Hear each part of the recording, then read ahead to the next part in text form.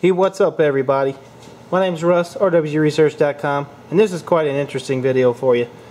So this is something that uh, a friend uh, of mine, David, Mr. Puchta, he was playing around with. He just posted a YouTube video on it and uh, got the idea about 3D printing this from a comment on that video.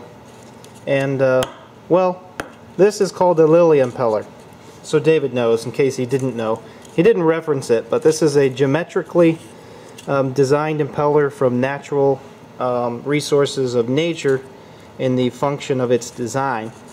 And it's basically designed for mixing stuff. And, uh, hi little kitty, why don't you get out of here? Little kitty, you're crazy.